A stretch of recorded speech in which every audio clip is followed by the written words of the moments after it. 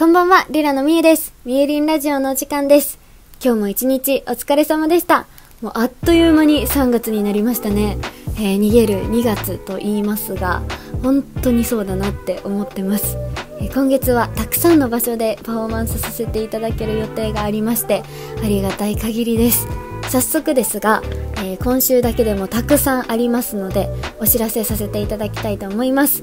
まず、8日金曜日の16時台に福岡の清流公園にてパフォーマンスさせていただきます。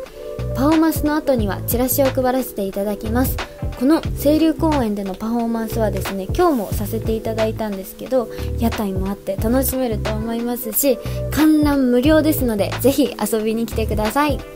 そしてその次の日9日土曜日の12時半からはベイサイドライブホールにて九州ガールズウィングミニボリューム18絶平女子力に出演させていただきます。ホームライブ会場での対バンは初めてですごく楽しみですしリラお目当てでご予約いただいた方はグループチェキがお安くご購入いただけます。そして当日受付で女子力さんのワンマンライブのチケットをご購入されますと入場料が1000円になるそうです。ねゼップでワンマンライブすごいなって思ってて私も楽しみですのでぜひ買ってみてください。そして、えー多くの方とお会いできることを楽しみにしています。そしてその日の夕方18時から19時にショールームにて無気力ラジオを放送させていただきます。アクティブ博多のタレントが週に一度交代で放送していましてこの間相方と準備に出かけてきましてもうねきっと楽しい回になると思いますのでぜひご視聴よろしくお願いします。そしてその次の日10日日曜日18時から18時半にファンマーケット in 春吉橋に出演させていただきます。春吉橋でのパフォーマンスは、えー去年の年末ぶりですごく楽しみにしています。この日にもパフォーマンスの後にチラシを配らせていただきますのでよろしくお願いします。